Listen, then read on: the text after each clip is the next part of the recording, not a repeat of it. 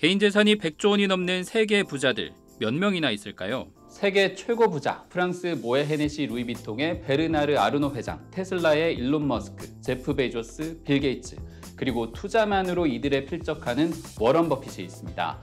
원자재 대란을 예견해 물류기업을 사들이고 옥시덴탈 지분을 갑자기 늘려온 백전 노장이죠. 이런 버핏이 미국 은행 위기를 예견하면서도 유일하게 팔지 않은 회사가 있어요. 오늘 주제인 이 회사, 지금의 비자카드 탄생의 발판이 됐고 워런 버핏이 욕조에서 목욕하다 투자를 결심해 금융위기 충격을 피한 회사이기도 해요. 우리에게는 생소하지만 미국 뉴욕 주식시장에서 반짝이는 기업들을 들여다보는 바이 아메리카. 오늘은 워런 버핏의 숨겨진 투자의 비밀이 있는 미국 대표은행, 미국 금융사를 담은 기업이자 샌프란시스코 금문교 탄생의 숨은 주역, 뱅크 오브 아메리카입니다. 미국 대표은행 하면 JP모건 체이스, 시티, 웰스 파고, 그리고 뱅크 오브 아메리카 이렇게 4대 은행으로 나뉩니다. 기본 100년 이상의 로스차일드, JP모건 등 다들 사연 하나쯤 있는 가문이 얽혀 있는 곳들이지만 이름조차도 미국 은행인 뱅크 오브 아메리카도 빠지지 않는 역사를 갖고 있습니다.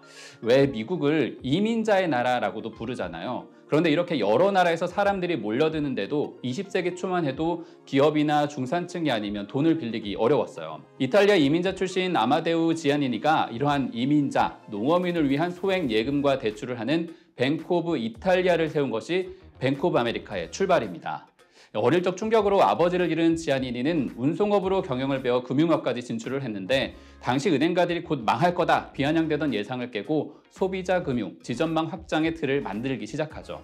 1900년대 초 캘리포니아 대지진으로 지역은행이 대부분 지원 불가능한 상황에 빠졌을 때 파격적인 예금 보장과 복구 비용 무이자 대출을 내세워서 지역사회 영웅이 됩니다. 대공황으로 인해 샌프란시스코의 상징 금문교 건설이 중단될 위기에서 채권을 떠안아 지원하고 디즈니의 영화 산업, 와인 산업, 2차 대전 당시에는 군수 산업의 후원자로 자리하게 되죠. 이렇게 벌어들인 돈으로 지역은행을 차례로 흡수하고 전쟁 이후에는 뱅크 아메리카드라는 이름의 신용카드 사업을 시작하는데 이 사업 부분이 떨어져 나와 세계 은행들이 함께 세운 회사가 지금의 비자입니다. 이렇게 미국 지역 국가 단위 사업에 관여하며 덩치를 키워가던 뱅크 오브 아메리카였지만 98년 은행 대형화 경쟁에 밀려 샬롯에 기반을 둔 네이션스 뱅크에 흡수되는 변화를 겪기도 합니다.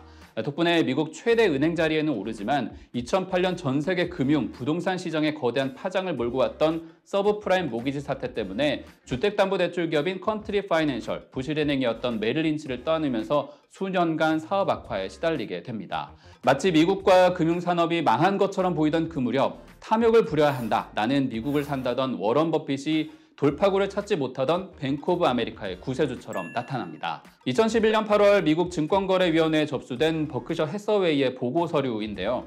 워런 버핏은 당시 부임 2년 차이던 브라이언 모이나힌 최고 경영자에게 미국 은행은 망하지 않을 것이라면서 자신이 투자해 살릴 수 있다고 설득합니다. 우리 돈으로 무려 6조 원을 들여 영구적으로 연 6% 배당을 받는 우선주 5만 주, 그리고 10년 안에 주당 7.14달러의 7억 주를 매입할 권리를 확보한 거래를 성사시킨 겁니다. 흔히 버핏이 배당을 많이 주는 코카콜라, 쉐브론, 최근에 옥시덴탈까지 이런 갭에 투자하는 것으로 유명하지만 아예 처음부터 10년치 수익을 확정하고 거래한 것이나 마찬가지입니다. 2011년 8월 거래가 일어난 시점에 오브 아메리카의 주가인데 아, 야수의 심장이라도 이런 가격에 투자하기 어려울 겁니다. 그해 말에 무려 20%나 더 하락하던 뱅크 오브 아메리카는 마법처럼 2021년 주당 40달러 선을 돌파해 워런 버핏에게 투자 차액만 7배 이상을 안겨주게 됩니다.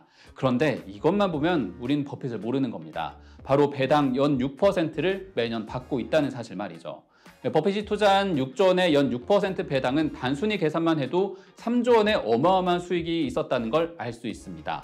버크셔 해서웨이가 올해 2월 공개한 연례 보고서를 보면 지분 투자한 기업 가운데 애플 다음으로 큰 기업이 뱅크 오브 아메리카입니다. A very decent deal for us, and I like Brian Moynihan enormously, uh, and I just don't want to.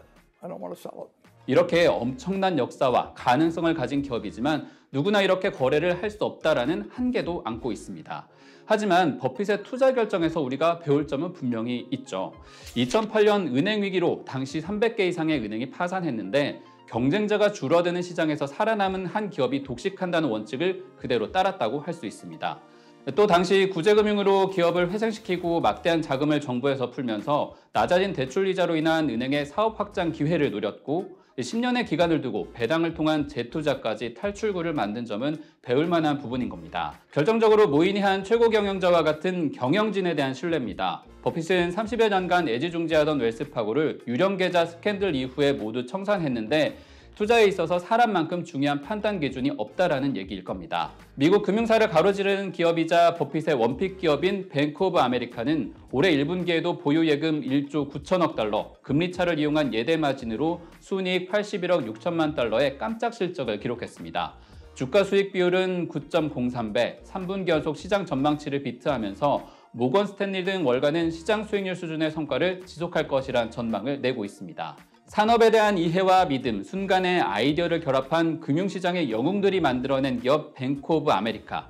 직접 투자하지는 않더라도 미국이 실패하지 않을 것이란 현인 워런 버핏의 말처럼 한 세계를 가로지르는 이 기업의 성장사를 지켜보는 맛이 있을 것 같습니다.